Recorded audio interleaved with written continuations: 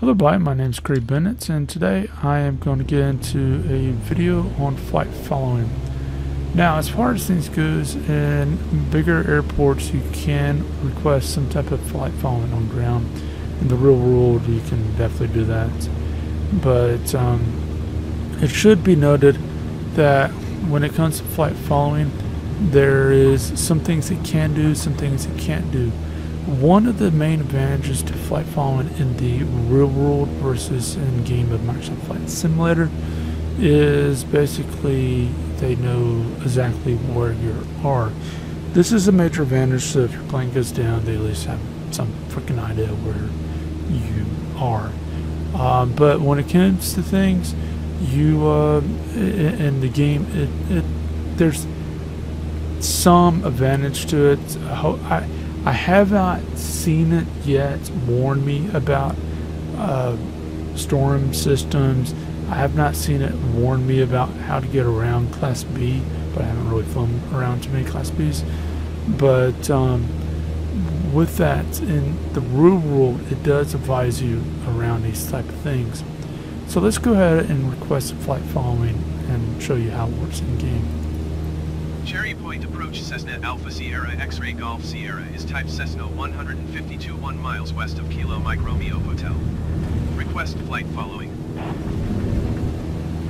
Cessna Alpha Sierra X-Ray Golf Sierra Cherry Point approach. Squawk 1574. So as we see here, we got a squawk code and basically that is goes into our transponder. So if we take a look down here, we can say,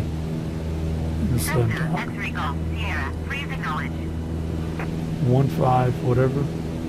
In fact, we're just gonna let it do its thing. Squawk 1574 Cessna X-Ray Golf Sierra. And X-Ray Golf Sierra radar contact 2 miles northwest of Kilo Mike Romeo Hotel, 300 feet. Altimeter 29.902. And what that does is it basically lets us put a thing in transponder so that we know that we're being uh, watched. Copy Cessna X-Ray Golf Sierra.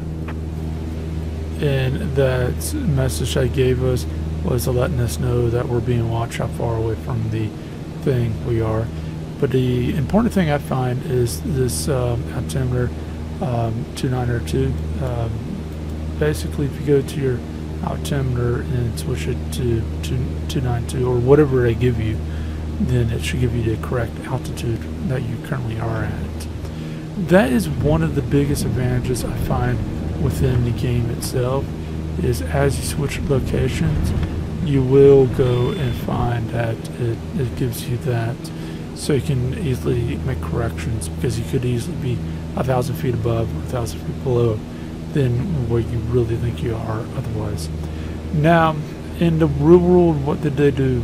So flight following, it, it's not a approval to go into uh, airspace. And same thing with the game, it's not approval to go into airspace.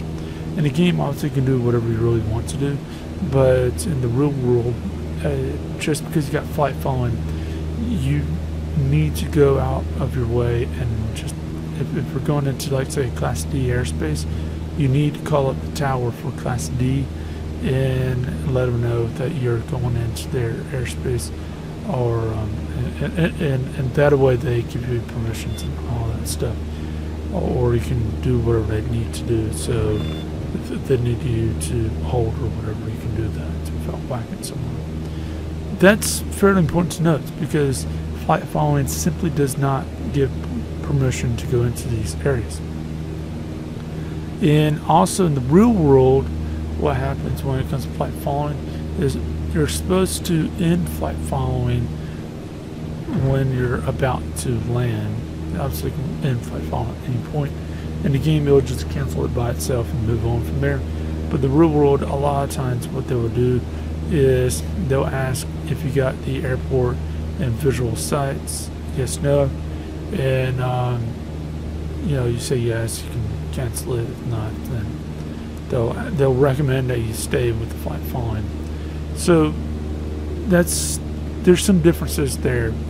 Um, in in the real world, if you're like going around like a certain airport or whatever that's very busy, they might tell you to do something to stay away from the other planes because they're, they're, they're watching all the planes and they can easily guide you around certain obstacles. So they, it's highly useful, but it should be noted that it's like a volunteer thing. Um, basically, in between when they're doing other things, they can deal with the flight following. Um, and that's the major reason why it's not a permission to go into certain airports because simply that they might not have the time to set it up and I can guarantee you that will be the case for the most part. Now, as far as that goes uh, for in-game and also real world, when you request flight following, you um, can go ahead Point and cancel. Cessna X-ray Golf Sierra cancel flight following. Cessna X-ray Golf Sierra Cherry Point approach. Cancellation received. Squawk ONE 200. Frequency change approved. And we can request it again. Cherry Point approach Cessna Alpha Sierra X-ray Golf Sierra is type Cessna 152 1 miles northeast of Kilo Mike Romeo Hotel. Request flight following. Cessna Alpha Sierra X-ray Golf Sierra Cherry Point approach. Squawk 4164. And as you hear, he gives us a different squawk number.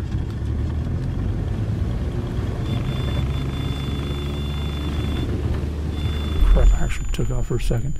You um you basically can deal with the flight following as such in the game and it will help you get from one area to another.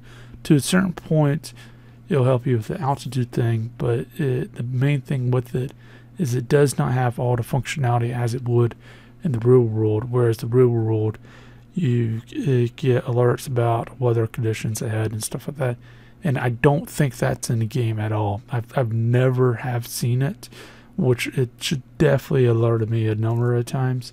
And then on top of that, I've I've honestly never have seen it um, do certain things like advise me how to get around busy airports and stuff like that.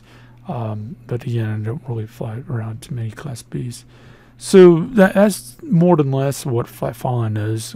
I mean, in the real world, it, I highly recommend if you're if you're doing anything other than flying around a pole, um, you know, take off from your home base and land at home base, just flying around a pole.